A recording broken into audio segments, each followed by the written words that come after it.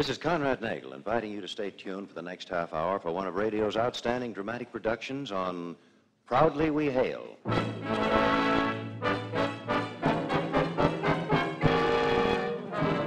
Proudly We Hail.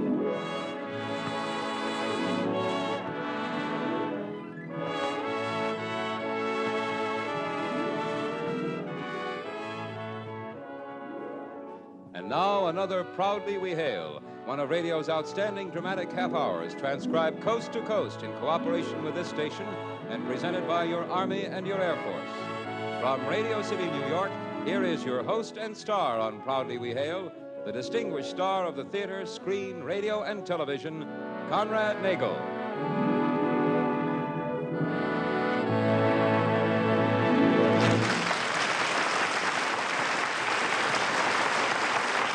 Thank you, Kenneth Banghart. Hello, everyone. Welcome again to Proudly We Hail.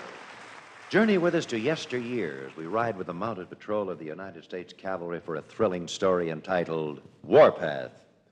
We'll begin the first act in just a moment after this brief but very important message. Can you hold down a man's job? If your answer is yes, there's a man's job waiting for you in our rapidly expanding United States Army. Visit your nearest United States Army and United States Air Force recruiting station and get all the details today. And now, with your star, Conrad Nagel, in the role of Lieutenant Frank Baldwin, your Army and your Air Force present the proudly we hail production, Warpath.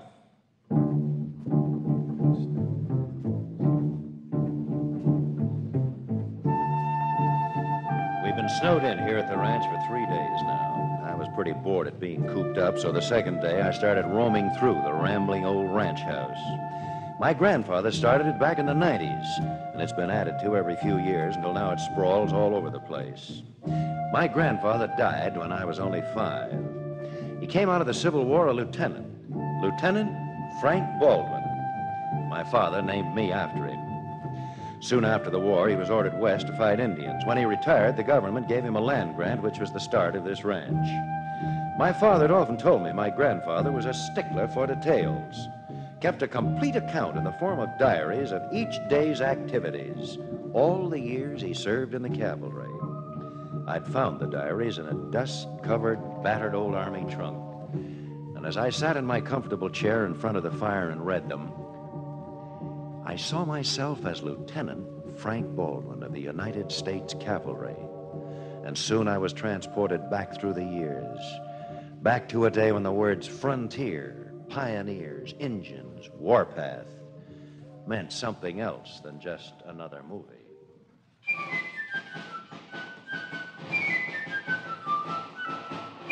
Cross the bridge of time and return to other days when men followed a star toward the west, and the word frontier was a beckoning call. Stand at sunset and look to the crouching mountains across the plains. Listen to the rustling buffalo grass, whisper of tom toms thudding through the anxious night. Listen carefully, and you may hear the ghostly echo of a bugle call. The creak of well worn saddles, the busy clink of accoutrements, the muffled rhythmic tread of cavalry on the long trail, their guidons snapping proudly in the desert wind. Well, what do you make of it, Dixon? Well, hold up, Lieutenant. We'll have a look see. Sergeant, halt the column. Uh, trail's about a day old, around 20 horses. War party traveling light heading up to Sweetwater. Uh, probably the same bunch that ambushed Hennessy's wagon train. We'll head up the Sweetwater and make camp near Dolan. Well, I'll scout ahead with Kiva. I don't like to tell you Army fellas about your business, but I'd go mighty careful, Lieutenant. Satanta's one smart Injun. And it ain't just the Kiowas on the warpath either. It's the Comanches, the Cheyennes, the Arapahoes. I know and the- all that, Dixon. I know all that. I've got my orders, and we'll push on. All right. I'll send Kiva back if everything's hunky dory. Come on, Kiva. Sergeant Brady? Because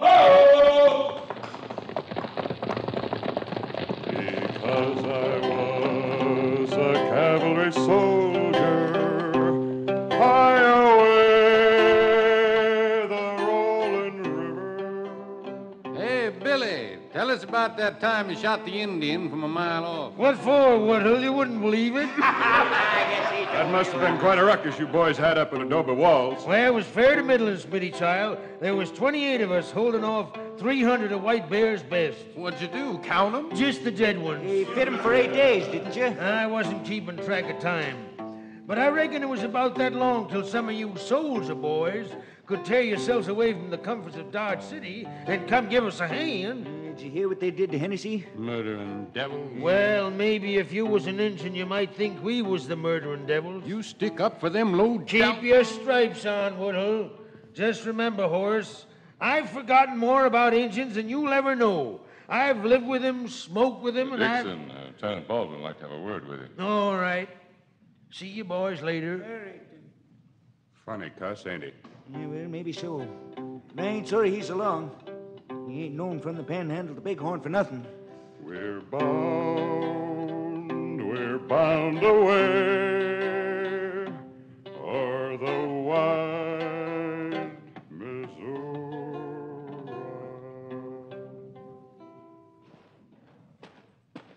You wanted me, Lieutenant? Yeah, sit down, Dixon. Yeah, yeah. I'm sending word back to General Miles that we've hit Indian sign. We're following it up the Sweetwater. Yeah. But I want reinforcements because I think it's a trap. Suppose you tell me what you think. All right. I think it's a trap, too. I feel they've been watching us since we left the fort. What have you seen to make you feel that? Well, when you've been around these parts as long as I have, you don't have to see anything to know you got trouble. All you got to do is feel it. Now, no Injun in his right mind would leave the trail we're following unless he wanted us to follow it. Suppose they were in a big hurry. Wouldn't matter how big a hurry. A blind man could follow this trail. Well, maybe you're right. A rider from the battalion came in a few minutes ago. He brought some good news. There was a big fight on the Anadarko two days ago. Satanta was captured and the Indians badly beaten. So this may be the trail of some of the survivors. How many was in that fight? The dispatch didn't say, just said there was a big fight and we whipped them. Nevertheless, I posted pickets up on the ridges there and warned them to stay awake. And I put a strong guard around the horses. That's right smart, Lieutenant. And don't be surprised if you have about 300 blood mad Comanches around your neck come dawn. Yeah, I think I'll turn in. Don't know when I'll get a chance to sleep again. Night.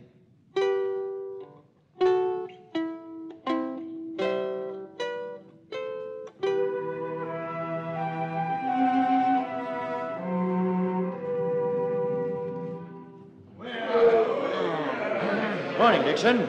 Been up long? A spell. Keeve and I had a look around. See anything? Nope. But the feeling's still there. Don't hear any of those howling Comanches you mentioned. Hope you don't have to, Lieutenant. Keeve and I'll try and follow the ridge up there. Good. We'll move out shortly.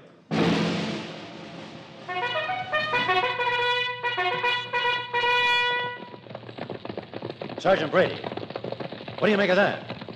That isn't Indian smoke, sir. More like a burning house. Take a squad of men and have a look. We'll wait here. No need, sir. Here come the scouts. Take over the column, Sergeant. I'll ride out to meet them. Yes, sir. What is it, Dixon? Settler's cabin, man and two women, dead, bait for the trap. Lieutenant, the valley's crawling with Injun sign. If we ain't careful, we'll ride right into another Fetterman. Fetterman disobeyed orders. I have to follow mine. Orders or no orders, we're walking right into a trap. Have you seen any Indians? Lieutenant, you don't see them until they're ready for you to. Then it's too late. You agree, Kiva? Don't like. Plenty sign, plenty bad. They torture people at cabin before they kill. Take plenty time. No afraid of soldiers. Just the same orders are orders. We've got to go on. Uh, you're the boss, Lieutenant. See here, Dixon, can't you appreciate the spot I'm in? I've got my orders to push on until I make contact with the Indians. That's what we were sent out to do, and I certainly can't turn back now with nothing more to go on than your hunches and mine that they're all around us. I've got to know for sure. Then too late. Nevertheless, we go on. Just to make doubly sure, I'll dispatch a rider back to the battalion and tell them to come on as fast as they can. We can't wait here till they catch up? No, Dixon, we can't. All right. I guess you gotta do what you gotta do. But Keeve and I both advise you to stay clear of that burning cabin. You can't do anything for them folks there now, and it's a likely spot for an ambush. Can we uh, go around it? Yeah, I'll lead you around. Kiva will go on ahead again. Now order your men to stay on their toes.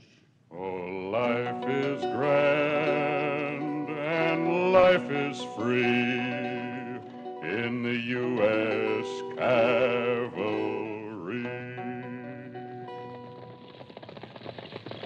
Gets much hotter, I'll bust. Yeah, where do we hit the desert? Where are all those Indians I've been hearing so much about? Pipe down, you mule skinners. Well, another mile, we'll hit Euro Canyon. I'll have the men walk their mounts. It's a mean spot to go through. Think we can get through it before dark? Well, that'll depend on a lot of things. There's Kiva.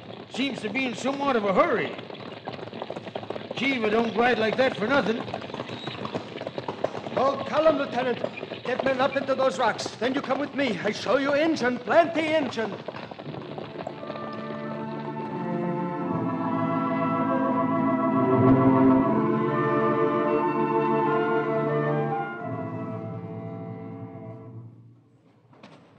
Watch your step, Lieutenant.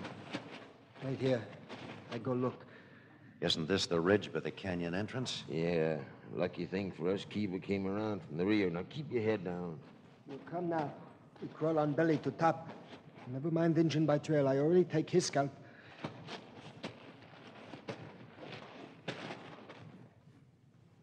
Now you look over ridge into canyon. What? What? I, I don't understand it. There's only a dozen of them down there. What are they doing? Keep your voice down. They're waiting for you to show up. Then you chase them into the canyon. Now look carefully up and down the sides of it as far as you can see. Yeah, but I don't. Uh... Great jumping Jehoshaphat. Yeah. And you can bet that around the bend there are more of them. Why, there must be two or three hundred. At least. 300 to 50 ain't good odds, especially when they're waiting for you. Ain't bad medicine down there. Yes, yes, we better get out of here. They're not going to stand there waiting forever. When we don't show up, they'll come looking. They'll also be waiting for whoever they had up here to give them a signal. Come on, men.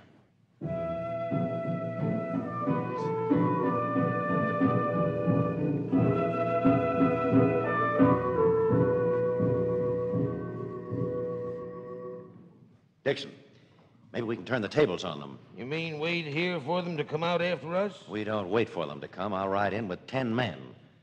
We'll pick that narrow spot just ahead to place the rest of the column. When we get to the canyon entrance, instead of chasing the decoys, we'll turn and run. If I know anything at all about Indians, they won't be able to resist chasing us. Well, it's a good idea, Lieutenant. We either do that or get out of here fast. We do that. Sergeant Brady. Yes, sir? Too late, Lieutenant. Look. Ah. Well, at least we didn't walk into it. They'll have to come to us. Yeah, what are they waiting for, Dixon? Uh, they're in no hurry, just figuring out the best way to do the job. Quite a sight, isn't it? I'll have the men try to aim for the chiefs. Men, hold your fire until I give the order. Oh, wait a minute. They're not going to attack. They're leaving. Well, now, what do you suppose? There's your answer. The battalion's caught up with us. The Indians must have known it. Then I guess sending back that message wasn't such a bad idea. You couldn't have had a better one, Lieutenant. Not and keep your hair on your head. Oh, life is grand and life is free in the U.S.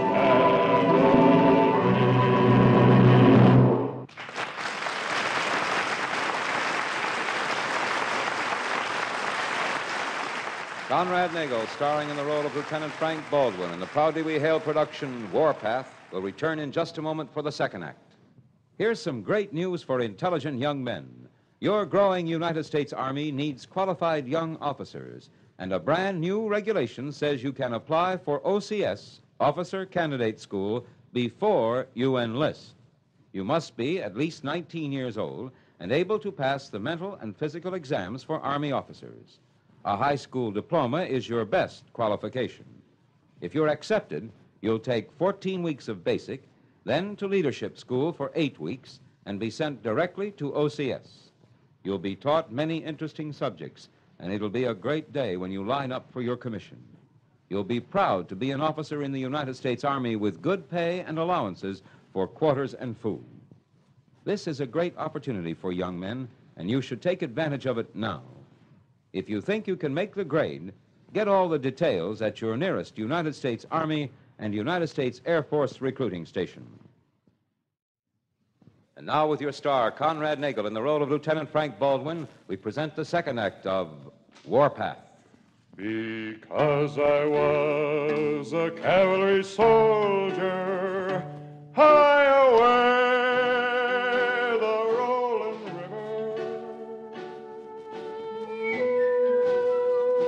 Into the desert, the battalion moves, swallowed up in gray dust that powders and coats horses and men alike.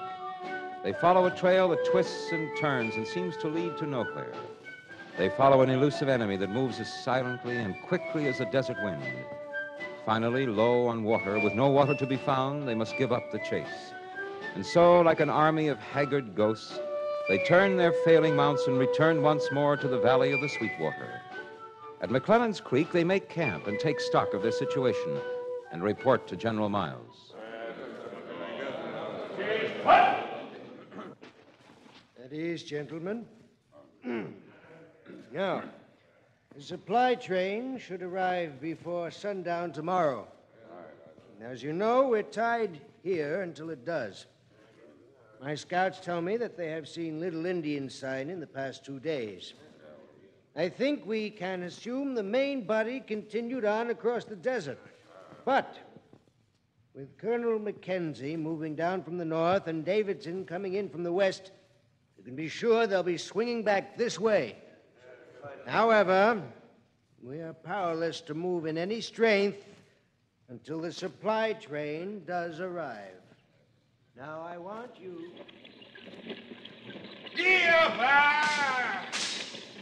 Yeah, ought to make McClellan Creek with these supplies in another two hours. Made right good time. Yeah, darn good. I bet the general will thank us himself. yeah, but I sure wish we had more of the boys riding along with us. My hair'd sit a little tighter. If you had any hair. Jim, look! Ah, Injuns.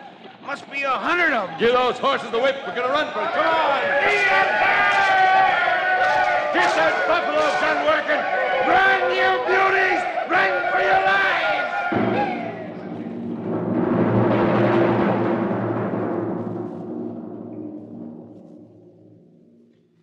You sent for me, General? Did you see the wagon train coming tonight, Lieutenant? Yes, sir. All shut up. All shut up. Most of the rations gone. I can't move to join Davidson and Mackenzie without rations. I'm sending you back to Camp Supply. You're to see that another wagon train is dispatched immediately. Dixon knows the trail better than anyone. I want him to be a guide. Just the two of us, General? No, there'll be six of you altogether three privates and your crow friend Kiva. I want you to start right away, travel just at night, and hold up during the day. You should get through. I guess I don't have to tell you how well the trail is being watched. I'll keep it in mind, General.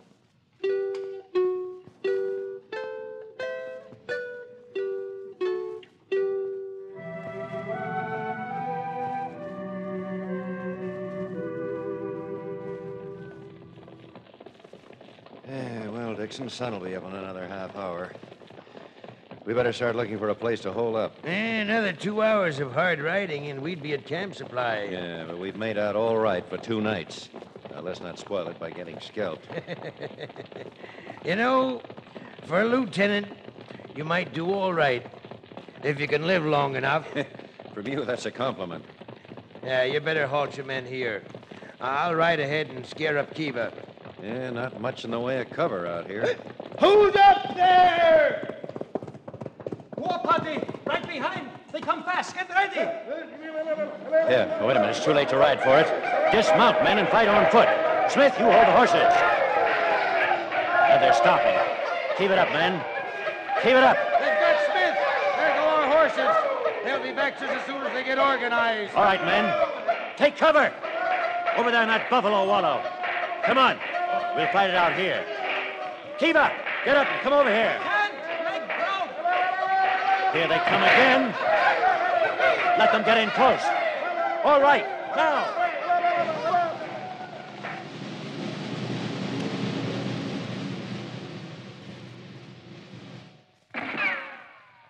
Where are you going, Dixon? Get Kiva. He's trying to crawl over. They'll get you, sure. We'll keep firing to give you cover.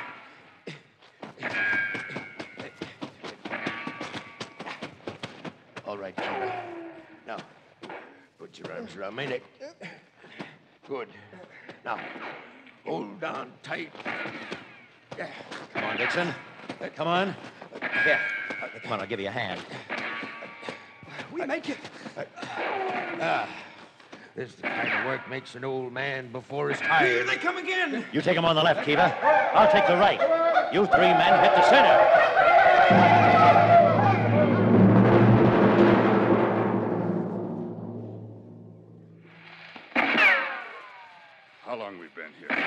Enough to fry. Save your breath, man. I gotta have water, Lieutenant. I tell you, I've gotta have water. Take it easy, Joe. I'm a shot full of holes. I gotta have water to fill up the holes. Watch him. He's going loco. Me too. I got a mouthful of cotton and a throat full of dirt. Save it, Rath. Talking just makes you thirstier. Look, A great big river flowing right down the center of the prairie.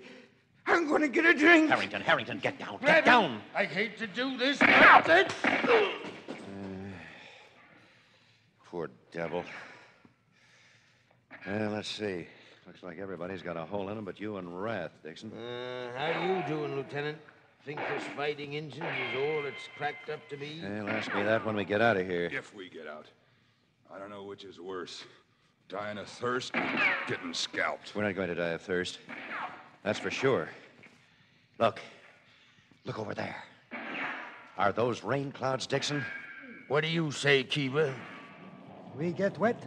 We get plenty wet. You gotta be right. You just gotta be right, that's all. Keep your head down. It'll get here soon enough if it's coming.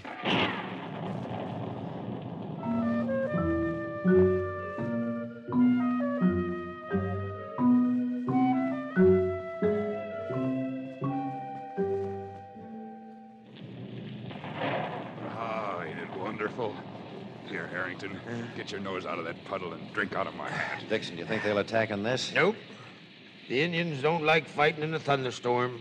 Won't hurt to keep your eyes open, though. This is one rainstorm I'll never forget. He gone. Cool now. I'm going out to get Smitty. Indians can't see me in this rain. Smitty's dead. We can use his ammunition and his rifle. Need any help? Yeah, come on, we'll run for it. Bring him back so they can't scalp him. Grab that arm. All right. Heave. Hey, hey, he moved. He's alive. Go easy with him.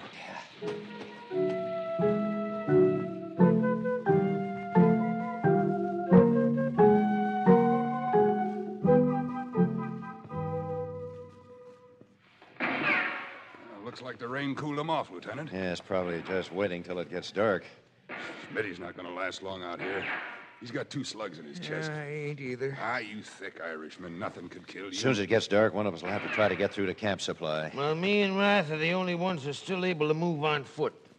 And I elect me. Oh, no, no, you stay here. You best shot of anybody. We need you. That's right, Dixon. Well, you handle that buffalo gun's a sight to see, so I guess it's up to you, Rath. As soon as it's dark, just find the trail and keep moving.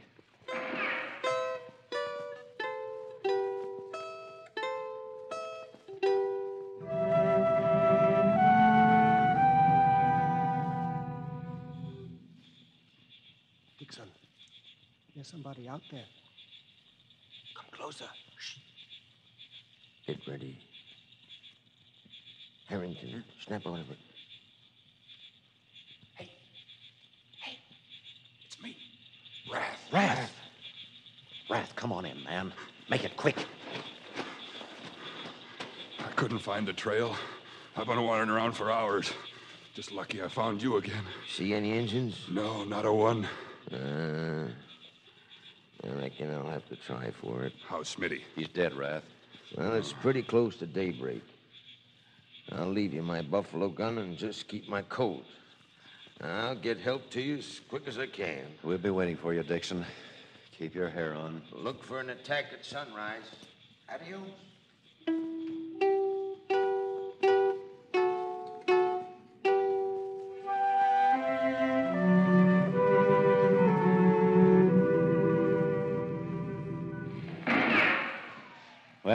Well, attack, men, and we're done for. I've got five shots left. I've got seven. Save that shot for self. I save one for Harrington. I guess Dixon didn't make it. No give up hope. Scalp still on head. Sure would be a pleasure to keep it there. And they stopped shooting. Guess they're lining up to try it again. Well, we sure gave 'em a good fight while it lasted. Make 'em good end, too. Take plenty with us to Land of Shadows. Listen. Listen. Listen to that. There they are. Look at them come.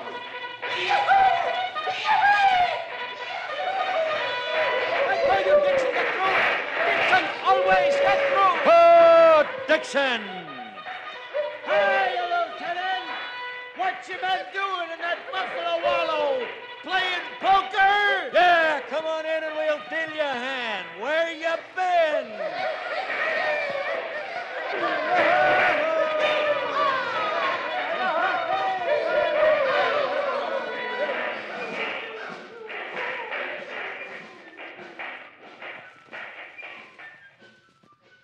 Listen carefully, and you may hear the ghostly echo of a bugle call. The creak of well worn saddles, the busy clink of accoutrements, the muffled, rhythmic tread of cavalry on the long trail, their guidons whipping in the desert wind as they ride on into yesterday.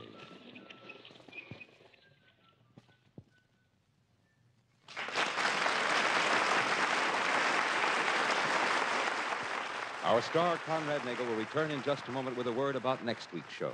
Here's a special message.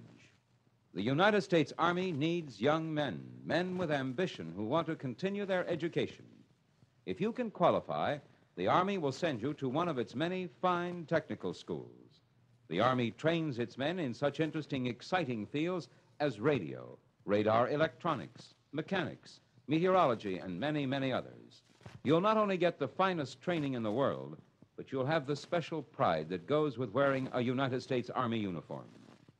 Today, there are plenty of chances for a man to get ahead, for our Army is growing fast, and ambitious young men can grow with it. But why not learn for yourself about what the Army has to offer? Go to your nearest United States Army and United States Air Force recruiting station. Have a talk with a recruiting sergeant and learn all the facts.